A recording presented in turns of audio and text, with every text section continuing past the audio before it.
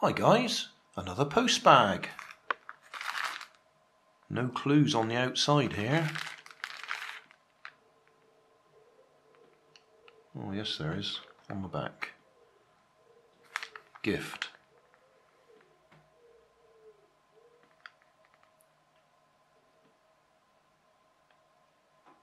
I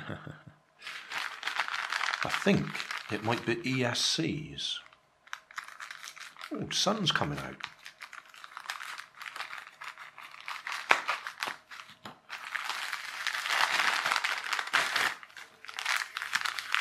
Yep, a couple of the ESCs and the sun shining on them. I'm hoping these are ones that I've had before. There's a switch on them which I think turns the brake off.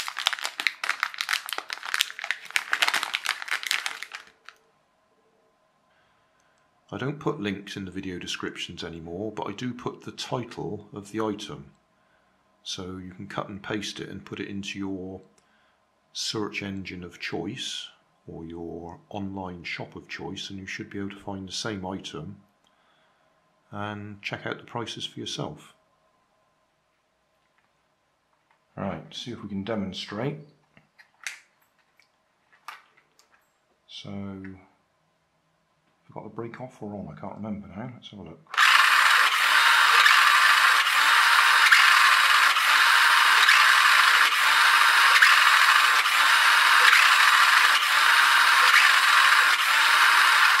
Right, that's the brake off, obviously.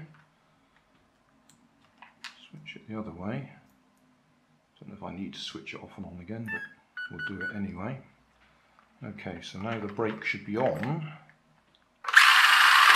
Yeah, there we go.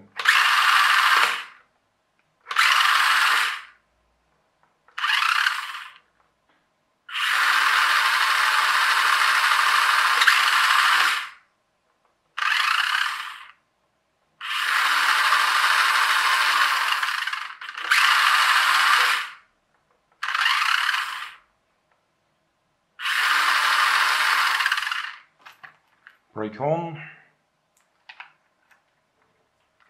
Let's just see if it works without switching it off and on again. No, I need to switch it off and on again so it works.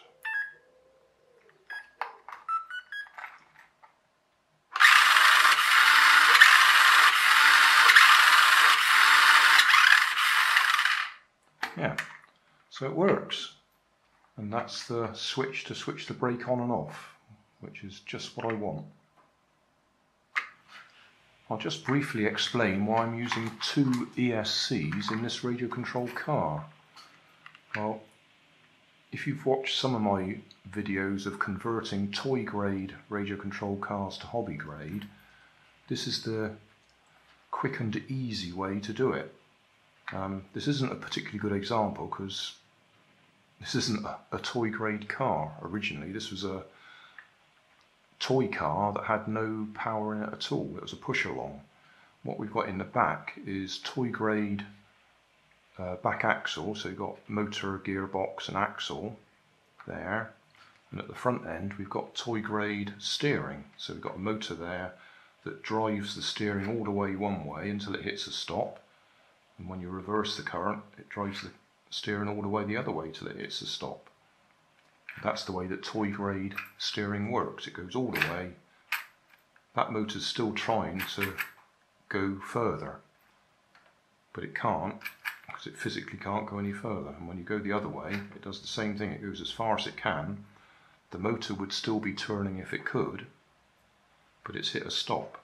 So that's the way toy grade works. And then the center there's a spring on the other side of that that brings it back to the middle. And all I do in my hobby grade conversion is use two ESCs. The one controlling the drive motor, that's logical. The further you push the stick, the faster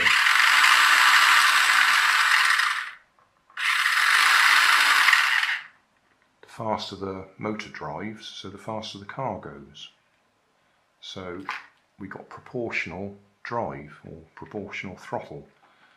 But the ESC driving the steering although it's trying to do it proportional, it really doesn't make any difference. As long as that motor's got power to it, it will try and go as far as it can. So just moving the rudder control in this case a little bit, it still goes all the way. It goes a bit faster when you push it all the way, but it still goes all the way even with just a little touch. So you haven't got proportional steering. You've got a little bit of proportional in that if you just touch it a little bit, you've got a bit of time before it goes all the way. So you've got a little bit, but you haven't got true proportional steering. But that's the quick and easy way to do a toy grade to hobby grade conversion. The proper conversion would be to do away with that motor and put a servo just here that's going to push that arm backwards and forwards. And then with a proper servo, you've got proportional steering as well. So that's why I use two ESCs. Obviously, if you're doing steering, you don't want an ESC that's got a brake on it because it will go right and then you can't get it to go left until you've knocked the brake off. So that's no use at all. So you need an ESC with no brake for the steering and you can choose whether you want a brake or not for the throttle. So there you go. That's why I use two ESCs on simple hobby grade conversions. Hey, thanks for watching. There's plenty of videos on my main channel with more added daily, so don't forget to subscribe and enable the notifications to keep you up to date with my new releases. My second channel, Grandad's Other Channel, is where I put the longer videos with more detail. Then there's my Facebook page and you can follow me on Twitter. You can help keep my channel running by donating a dollar on Patreon to buy me coffee. And if you fancy some Grandad merchandise, I have two shops, one on Redbubble and the other on Cotton Cart. Finally, you can always find more information in the video description. Thanks again for watching.